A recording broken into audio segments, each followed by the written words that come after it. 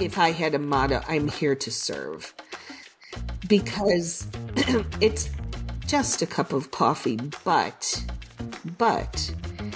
each person picks up that coffee, they go off and do their life that day. If I have done my core work making that the best, healthiest cup of coffee, and then you start your day and all the good work you're going to do, and then you touch all those people and then all those people touch other people, suddenly that cup of coffee, the energy that's in that one cup gets transferred to you and to this and this. And that is the beauty of being in the coffee industry.